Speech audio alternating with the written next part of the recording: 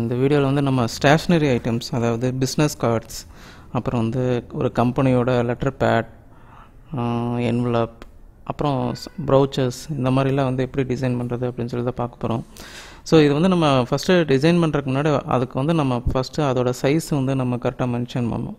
சரிங்களா? ஸோ நான் இப்போ என்ன பண்ண போகிறேன் நியூ ஒன்று க்ரியேட் பண்ண போகிறேன் ஃபைலில் போயிட்டு. ஃபஸ்ட்டு நம்ம ஒரு தடவை செட்டிங்ஸ் வந்து க்ரியேட் பண்ணிட்டோம் அப்படின்னா அடுத்தடுத்து நம்ம க்ரியேட் பண்ண போகிறக்கும் சேம் செட்டிங்ஸ் தான் வரும். அதனால் வந்து நம்ம ஃபஸ்ட்டு நம்ம கொடுக்கும்போது ஃபஸ்ட்டு செட்டிங்ஸ் வந்து கரெக்டாக கொடுத்துடணும்.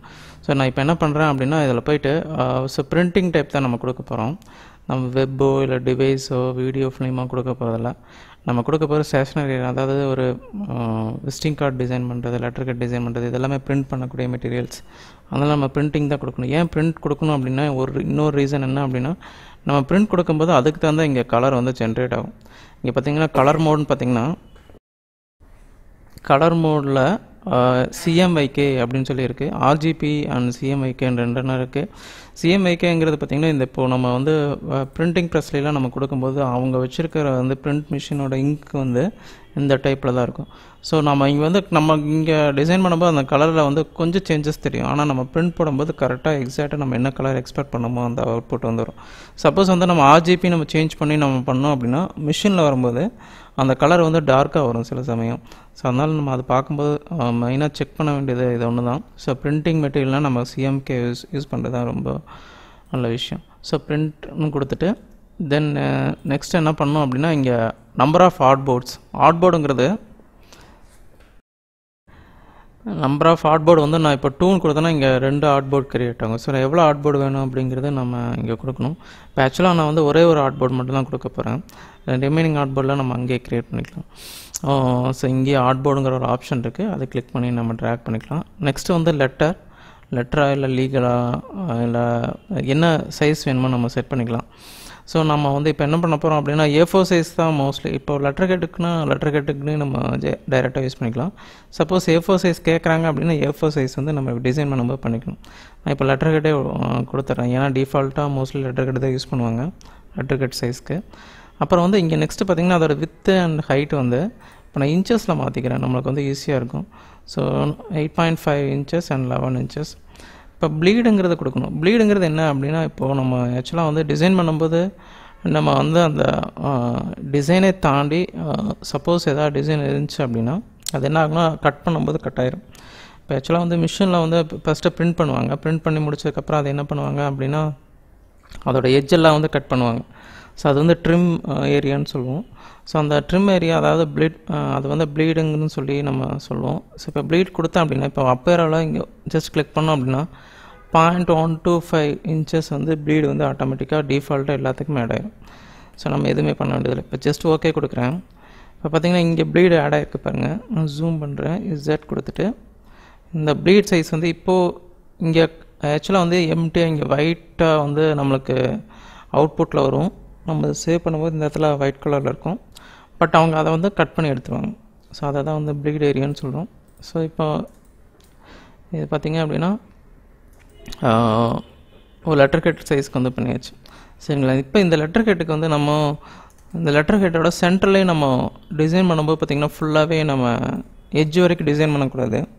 ஸோ நம்ம அதில் வந்து ஒரு point two point two five inches வந்து நம்ம வந்து கம்மி பண்ணிடணும். ஸோ அதை எப்படி கம்மி பண்ணுறது அப்படின்னா அதுக்கு வந்து கைட்லைன்ஸ் வந்து யூஸ் பண்ணணும்.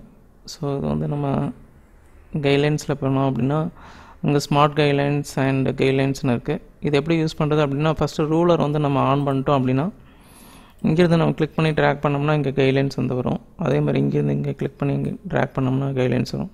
இப்போ நமக்கு வந்து எக்ஸாக்டாக வந்து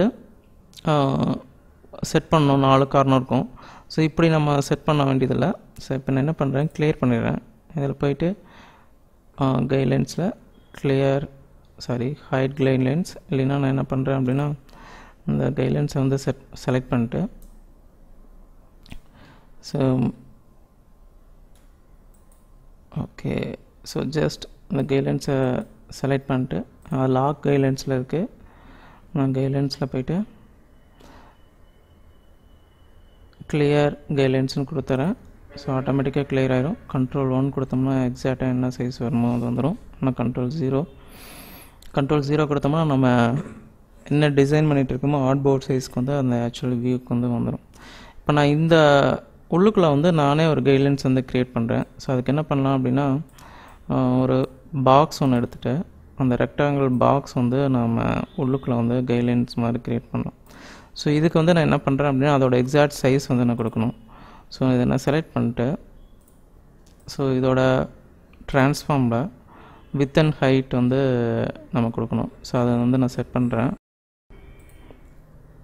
இப்போ இதில் வந்து நான் என்ன பண்ணுறேன் அப்படின்னா ஆக்சுவலாக வந்து இதோட ஏஃபோ சைஸ் வந்து நம்ம எயிட் பாயிண்ட் ஃபைவ் வச்சுருக்கோம் இல்லைங்களா? அதில் என்ன பண்ணுறேன் அப்படின்னா பாயிண்ட் டூ ஃபைவ் இன்ச்சஸ் வந்து ரெடியூஸ் பண்ணிடும் இதில் வந்து eight point point two five inches ஹைட்டில் வந்து லெவன் சாரி லெவன் இன்ச்சஸ் இருக்குது ten point seven five inches வந்து கொடுத்துரும். ஓகே இப்போ இது பார்த்திங்கன்னா சென்டராக இருக்காது.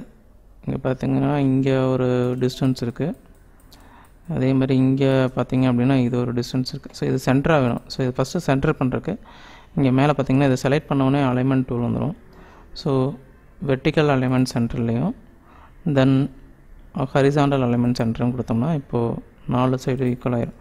நம்ம ஃபஸ்ட்டு இது வந்து செலெக்ஷன் வந்து எதை பேஸ் பண்ணியிருக்குன்னு பார்த்துக்கோங்க. இங்கே ஒரு ஆப்ஷன் இருக்கு இல்லையா? அலைன் டு ஆர்ட் போர்டுன்னு இப்போ அலைன் டு செலெக்ஷன் இருக்கா? அலைன் டு ஆட்போர்ட் இருக்கான்னு பார்த்துக்கணும். ஆக்சுவலாக இப்போ நம்ம அலைன் பண்ணும்போது அலைன் டு ஆட்போர்டு தான் கொடுக்கணும். அலைன் டு செலெக்ஷன் கொடுக்கக்கூடாது.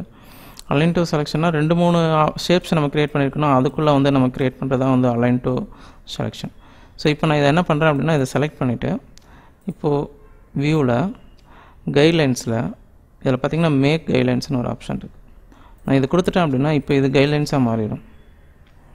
ஓகேங்களா ஸோ இப்போ கைட்லைன்ஸ் வந்து லாக்கில் இருக்குது ஸோ இதை நம்ம டெலீட் பண்ண முடியாது. கிளியர் பண்ணோன்னா நம்ம இங்கே போயிட்டு கைட்லைன்ஸில் போய் கிளியர் கொடுக்கணும். ஓகேவா ஸோ இதாக வந்து இப்போது லெட்டர் ஹெட்டுக்கான சைஸ் ஸோ இந்த லெட்டர் ஹெட்டுக்கான சைஸை வச்சுட்டு இப்போது இப்போ இந்த கம்பெனிக்கு நம்ம என்ன பண்ண போகிறோம் அப்படின்னா இப்போ ஆக்சுவலாக வந்து ஒரு கம்பெனியோட நேமுக்கு தான் வந்து நம்ம க்ரியேட் பண்ண போகிறோம் ஸோ கம்பெனி நேம் வந்து அந்த கம்பெனியோட நேமையும் அதுக்கான லோகோவையும் ஃபஸ்ட்டு டிசைன் பண்ணும். அதுக்கப்புறம் தான் வந்து இதில் வந்து நம்ம எங்கெங்கே வேணுமோ அந்த டேட்டாஸ் வந்து ஃபிட் பண்ணணும் ஸோ அது எப்படிங்கிறது நெக்ஸ்ட் வந்து பார்ப்போம். இந்த வீடியோ உங்களுக்கு பிடிச்சிருக்குன்னு நினைக்கிறேன். இதோட கண்டினியூஷன் வந்து நெக்ஸ்ட் வீடியோ வந்து நம்ம பார்ப்போம். இந்த வீடியோ உங்களுக்கு பிடிச்சிருந்துன்னா கீழே இருக்கிற சப்ஸ்கிரைப் பண்ண வந்து ப்ரெஸ் பண்ணுங்கள் அது பக்கத்தில் இருக்கிற பெல் சிம்பிளையும் ப்ரெஸ் பண்ணுங்கள் நாங்கள் நிறைய வீடியோ வந்து அப்லோட் பண்ண போகிறோம் அதோட நோட்டிஃபிகேஷன் உங்களுக்கு ஆட்டோமேட்டிக்காக வரும். இன்னொரு வீடியோவில் உங்களை மறுபடியும் மீட் பண்ணுறேன் அன்டில் தென் பாய் தேங்க்யூ